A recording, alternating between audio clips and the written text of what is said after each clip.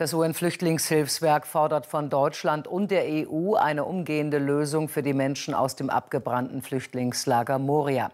Es handle sich um eine humanitäre Notlage, die schnelles Handeln erfordere, sagte der Vertreter der UN-Organisation in Deutschland, Remus, der Funke Mediengruppe.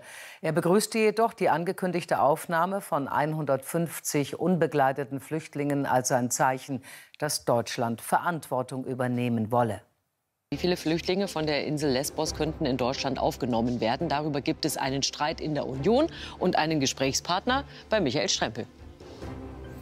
Ganz genau. Matthias Mittelberg ist gleich bei uns, der innenpolitische Sprecher der Union. Und das ist für die gar nicht so einfach. Auf der einen Seite wird von einer christlichen Partei jetzt Barmherzigkeit, Barmherzigkeit verlangt. Auf der anderen Seite will die Union auch den Druck auf die anderen europäischen Staaten mitzuziehen, hochhalten.